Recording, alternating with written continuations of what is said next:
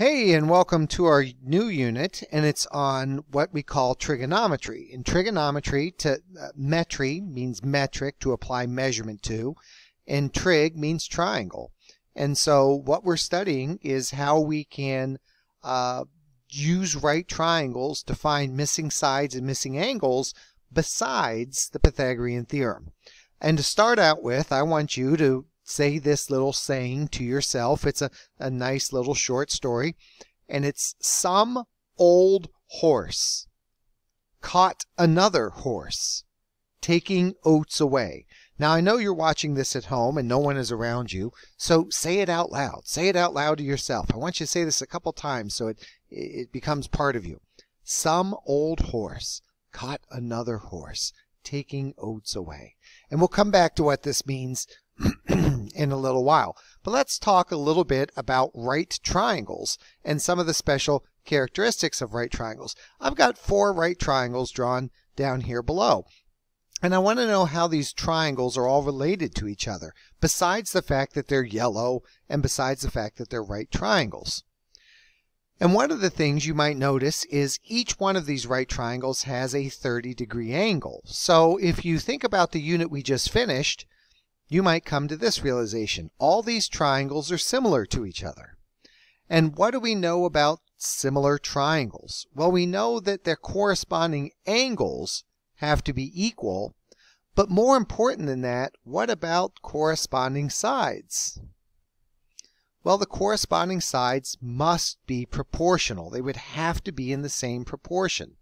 And so what that means is if we look at any of these right triangles and we're standing we're standing right here at this at this 30 degree angle, right where that smiley face guy is, that coming from 30 degrees, the ratio of the opposite side, and so this is coming from 30, that's the opposite side, the adjacent side, the side next to it, versus the hypotenuse, that these ratios, the ratio of the opposite to the adjacent side, is the same for each triangle. It doesn't matter how big or small that triangle is, the ratio of the blue opposite to the red adjacent is the exact same ratio in all of these triangles. And the, the ratio of the adjacent side to the hypotenuse and the opposite side of the hypotenuse, those would be the same for each triangle. Size doesn't matter because we know the sides are proportional. And what I'm here to tell you is these ratios have all been stored in your calculator. You just need to learn how to retrieve them. So let's jump in and learn a little bit about trigonometry. So here's a right triangle and we're going to stand right here at this angle theta. Now you'll notice that we use the fancy Greek letter and in, in higher level mathematics we use Greek variables alpha, beta, theta, gamma um, to represent angles. So there are three special words that we're going to learn today, and these are all buttons that are on your calculator. You've just never used them before. The, these, these words are all functions. And because they're functions, and functions are relatively new to you, because they're functions, they don't exist on their own like numbers. They have to attach themselves somewhere. And what these trig functions, these trigonometric functions attach themselves to is an angle because that angle gives them a reference.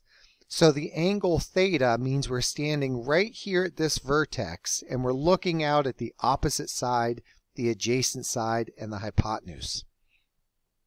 And so the first trigonometric function is the sine of an angle. Now on your calculator, this is abbreviated. Sine is abbreviated by SIN. So the sine of our angle, in this case we named our angle theta, represents a ratio. And the ratio it represents is the opposite side to the hypotenuse.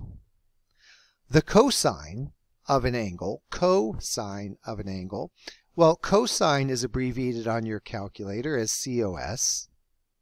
So again, being a function, it can't just exist by itself. It has to attach itself to something.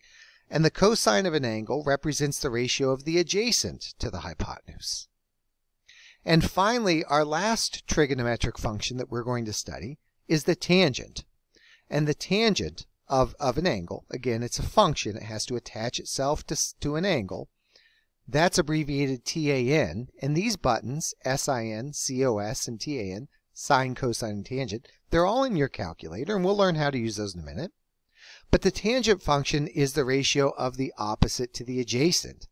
And what I'm claiming is any right triangle that has an angle of theta degrees, whether theta is 20 degrees or 50 degrees or whatever, these ratios will be the same for every right triangle when you're standing at that theta angle. And a good way to remember these, these three trigonometric functions and these ratios is coming back to our horse story. Remember our horse story. Some old horse caught another horse taking oats away. Sine is the opposite divided by the hypotenuse.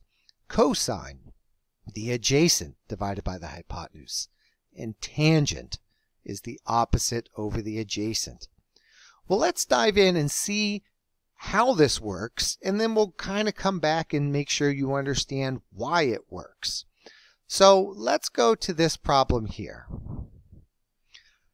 I have a right triangle, and we want to find x and y. Now, being a right triangle, your first, your first strategy should be Pythagorean theorem. But in this case, we can't use the Pythagorean theorem because we would have to have two sides. We only have one. So this is where we can use trigonometry because we have an angle and we have a side. And since it's a right triangle, we can think of our three trig functions. Now, I, I always write this down for each problem.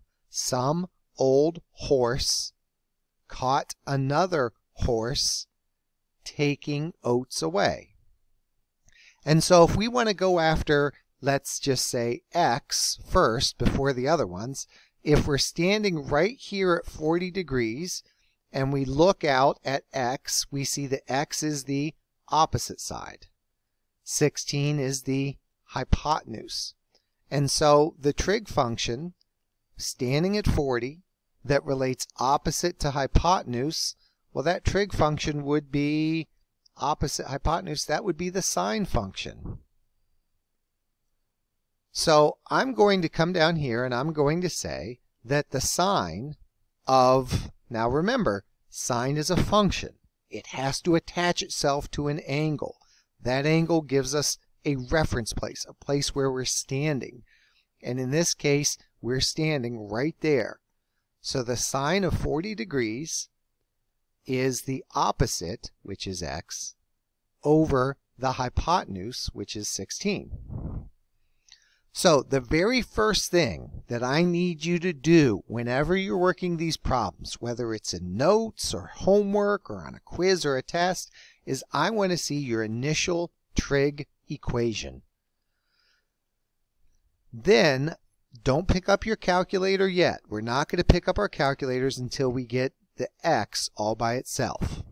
Now another way to read this is the sine of 40 degrees is x, don't say over, divided by 16. And the way we get rid of division is multiplication. So if I multiply both sides here by 16, then these 16s cancel out, and I end up getting just x is equal to 16 times the sine of 40. So in each of these problems, what I want to see is your initial trigonometric equation. Did you use sine, cosine, or tangent? And what ratio did you set up?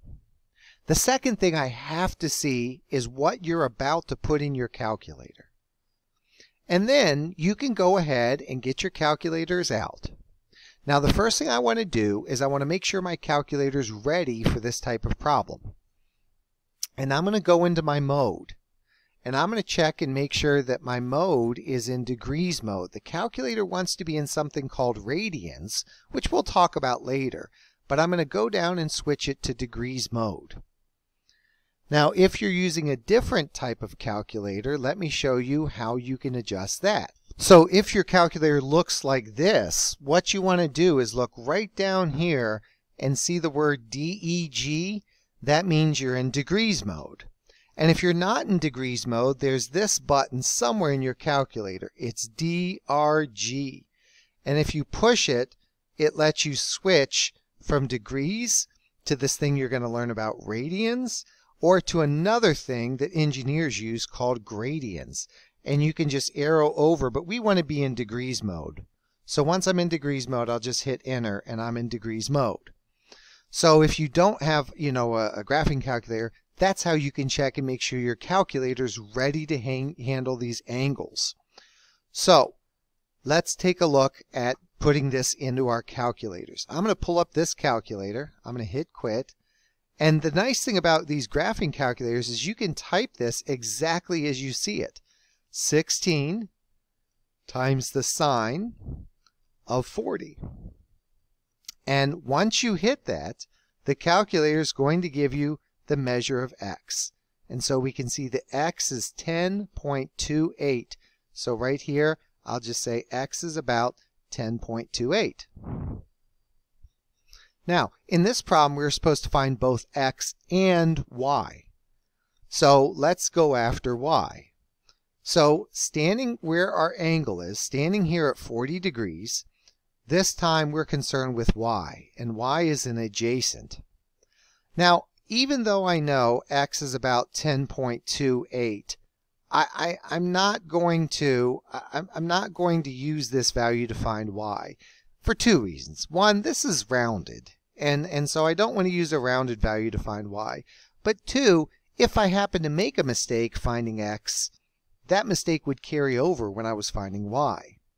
So what I want to use is I want to use the 16 because I know that number has to be correct. So standing at the smiley face, we have an adjacent and a hypotenuse. And looking here at these choices, um, adjacent and hypotenuse, that's cosine. So down here, I'm going to say that, whoops, I'm going to say the cosine, ignore that, I'm going to say the cosine of 40 degrees is the adjacent, which is y, over or divided by the hypotenuse, which is 16.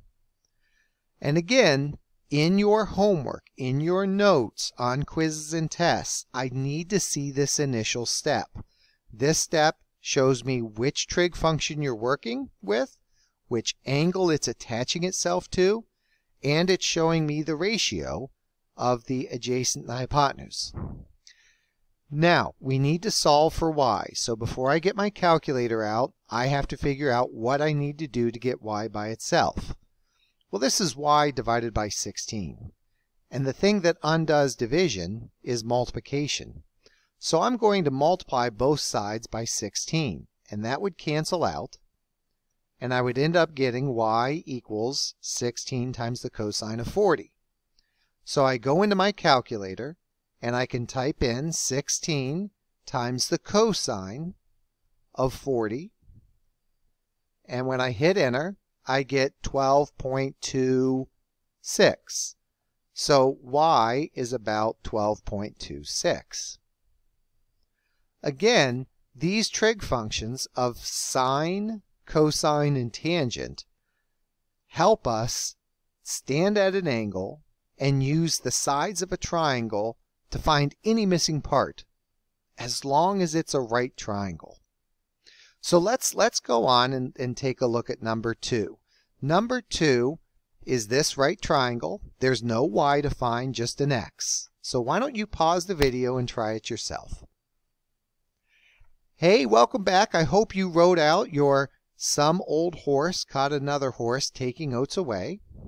I also hope you stood where you needed to stand, which is right here at this 70 degrees, and you labeled this side next to 70 as the adjacent, and this side across from 70 is the opposite. And when you're looking for uh, which trig function relates these two, this opposite and adjacent, you'll see right here opposite and adjacent are related by tangent. So we can say the tangent of 70 equals the opposite over the adjacent. Solving for x, we get this, and when you dump it in your calculator, you get that. Now, go to part 2.